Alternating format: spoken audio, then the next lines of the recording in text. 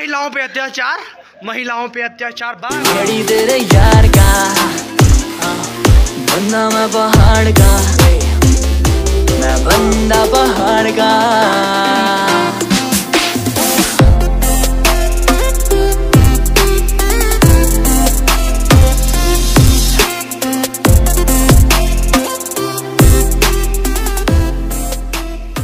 Guys good morning जय शंकर महाराज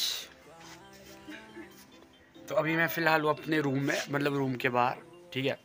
तो सीधा सा सफ़र है, यहाँ से ऊपर मेरे को जाना है, मैं बताऊँ कैसे जाना है? दिखाओ मैं दिखाओ मैं देखते हैं। तो वो यहाँ से ऊपर जाना है मेरे को ऐसे करके, यहाँ से ऊपर कॉलेज के लिए, ठीक है ना, पौड़ियों में। दस मिनट का मतलब आधे घंटे का रास्ता है तो देखेंगे फिर।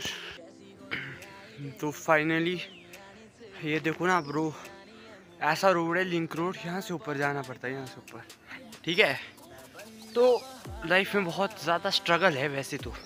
यहाँ देखिए, उफ। मैं थक गया हूँ, दस मिनट चल गया, अब दस मिनट और है। बीस मिनट का है मतलब इजी है, ज़्यादा टफ नहीं है। रोज़ जाओ फिटनेस ठीक रहती है बस। गाइस फाइनली मैं पहुँच चुका हूँ, ये देखो चिराग भाई। ठीक है?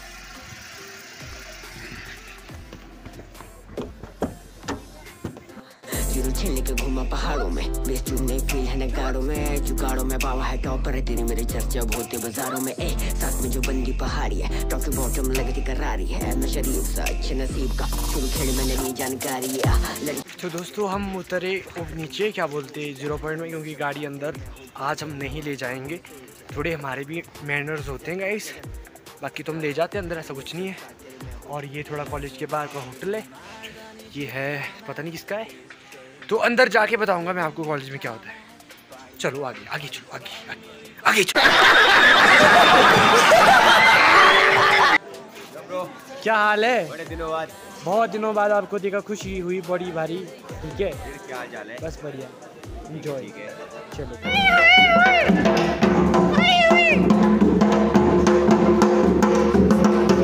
साक्षी जी आपने महिला पे हाथ उठाया तो कैसा लगा आपको? क्या आपको बुरा नहीं लगा महिला पे हाथ उठाते हुए? महिलाओं पे अत्याचार महिलाओं पे अत्याचार बार बार अत्याचार। थप्पड़ मारती है लड़की महिलाओं पे।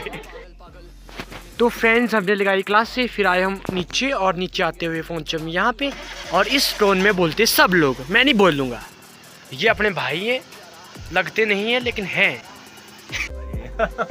भाई लोग हमारे को थोड़ा सा टेंशन हो चुका है क्योंकि हमारा एक बिल जो है ना बिल था वो भी विक्रांत जी के द्वारा अभी पहुँचा नहीं है तो टेंशन है थोड़ा। और जब टेंशन होती है तो हम क्या करते हैं? खाते हैं। हमारा सब कुछ है। टेंशन होगा खाएँगे गुस्सा होगा खाएँगे सब कुछ होगा खाएँगे। तो खाएँगे आइए खाइए। पीछे लोग खा रहे हैं। मतलब नहीं हमारा हम खाएँगे। चलो। Guys after heavy lunch Chirag भाई बोलते हैं गुड फ़ूड गुड मूड तो देखो जी हैवी तो मोटा ही हैवी होता है हमारे साथ। लेकिन लेकिन लेकिन, फ़िलहाल तो बस यूँ है कि कुछ कर नहीं सकते, जा रहे जी गाड़ी में तो देखते आगे का सब। आगे चलो।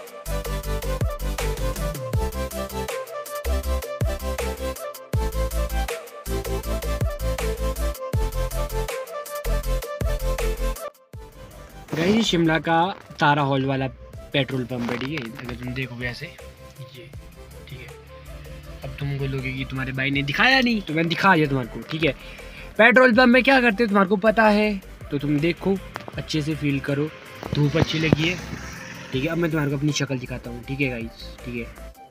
तो गाइस ये तुम्हारे भाई की शक्ल, थोड़ा पता है, थोड़ा दाढ़ी दूड़ी चले गई, उसका दुख है मेरे को बट मैं बी नहीं बनना चाहता, ठीक है? मैं ऐसे दिखता हूँ मतलब काफ़ी लोगों को लग रहा है, मैं तेरे नाम वाला सलमान खान लग रहा हूँ, लेकिन ऐसा नहीं है।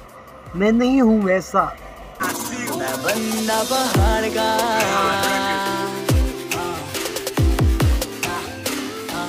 बंदा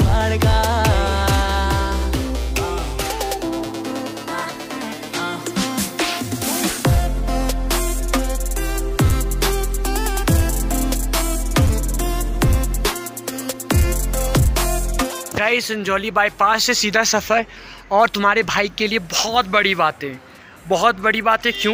क्योंकि यहाँ गाइस ऊपर है सी आपको पता है सी और मेरा रिश्ता कितना गहरा, कितना बड़ा? और हमेशा हमेशा मैं बात करता हूँ संजौली की। और ये, गजब गजब जी, गजब। ओ। गैस ये जो ऊपर है ना, ये है संजौली कॉलेज ठीक है? तुम्हारे को पता नहीं है तो ये है वो। और यहाँ है रोड। ठीक है? यहाँ से निकलते हैं बड़े बड़े बड़े बड़े बड़े बड़े टॉपर टॉपर टॉपर निकलते हैं यहाँ से। और यहाँ पहुँचते हो।